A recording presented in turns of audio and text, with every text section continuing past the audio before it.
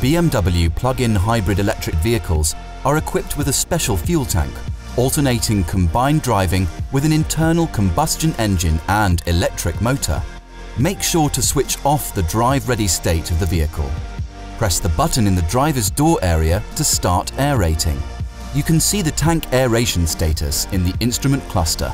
When the tank aeration has finished, a message is displayed in the instrument cluster. The fuel filler flap is unlocked for opening. Open the fuel filler flap.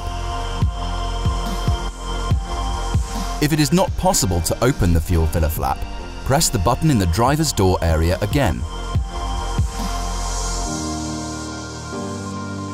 Continue watching our how-to series to get the most out of your BMW.